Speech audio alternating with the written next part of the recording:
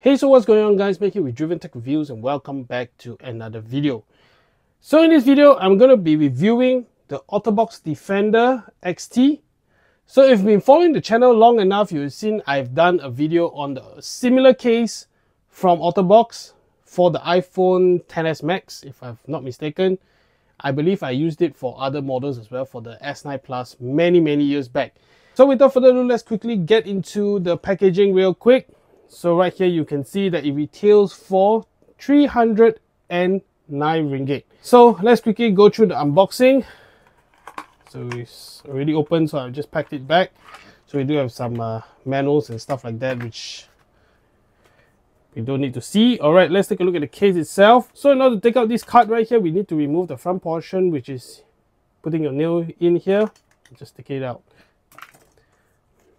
Okay, so you can see how to install it right here. There's also a QR code if you do want to check out their video. Okay, let's take a look at the back of this case. OtterBox Brandy, you can see the cutout for the camera. So this portion and also the ring around it is all made of TPU, I should say, more towards a softer silicone style material, similar to their OtterBox Defender lineup. Okay, so on the left side, we can see our buttons for the mute volume up and down. We do have a clamp for the holster, which doesn't come in the package. I guess you have to buy it separately. Okay, at the bottom, you can see that there's a lanyard strap right here. This, in fact, this case didn't come with a lanyard, so I'm not too sure about that. We can just get one very cheap. So there's also a cutout for your microphone.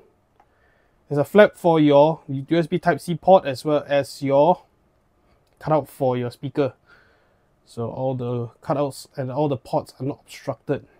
You can see OtterBox branding right here. And then there's another clamp for your holster.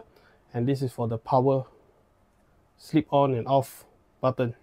Okay, on the inside we can see this is made of polycarbonate. So this has also a MagSafe ring right here. The MagSafe ring overall, the grip is really, really good.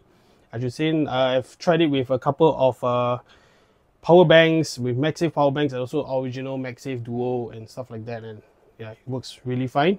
So the difference between the older version and the new version is that this is polycarbonate.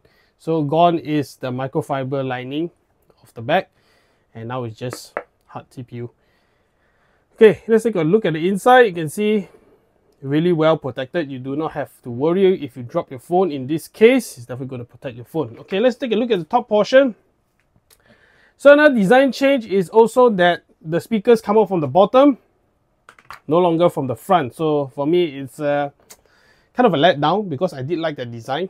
And in the previous version, they did have uh, mesh covers for the speaker and the microphone grills as well. And also the previous gen, they had a rubber gasket right here, but on this generation, it's all gone. So yeah, other than that, yeah, it works just like the previous version. Okay, so I do have a tempered glass screen protector. In fact, this is a full coverage one. I did have to adjust the tempered glass screen protector. So if you're using a full coverage tempered glass screen protector, you do have to bear in mind that uh, this might not fit so well. Even if it fits, it's super snug. Uh, some may, of you may like it, some of you may not. But for me, I did have to adjust my screen protector to actually fit on the top portion. I did have to measure uh, the tolerances and stuff like that. So it's yeah, it's a bit of a hassle, but once you get it in, then no worries right there. Okay, so to install your phone, I should say put the bottom first. And I highly how you put is going to be the same because they are two-piece case. And then if you have a tempered glass screen protector, the easiest way is to actually slot the bottom in first. That's which is what I'm doing right now. So slot the bottom in, get it all worked in. All those uh, the rubber gasket, or should I say the rubber piece. Okay, maybe I should get that. Okay, so you just have to slide your nail. I don't have a nail, not right now. You slide your nail around the corner. You can see that it's going in. On the top as well. Just get my nail right in there. Okay, let me start on the bottom. I think that would be easier. Slide it all the way in. They're just on the flashlight. No, Okay, just have to slide all the way in. Okay, so we are done. It's definitely tougher with a screen protector installed, but overall the fitment, you can see right here, super, super nice, super snug. I do like how it actually looks. In this case, really nice. Okay, let's take a look at the ports. See right here, all spot on as usual. You can see the grills. I think, I think the buttons are very nice and responsive. Very easy to press. Let me just show you the ring. You can see right here. No problem right there. Well, should I show you? You can see the camera cutout. Really nice and spot on. So overall, this case, uh, for my experience, has been really, really good in protecting my phone. I did drop my phone, in fact, on the road like twice. And you can see how the phone falls and how it bounces off the road that you know that your phone is actually protected and the case is absorbing all the shock. So I think that's, uh, that's what you're paying for, the big bucks, is to pro protect your investment.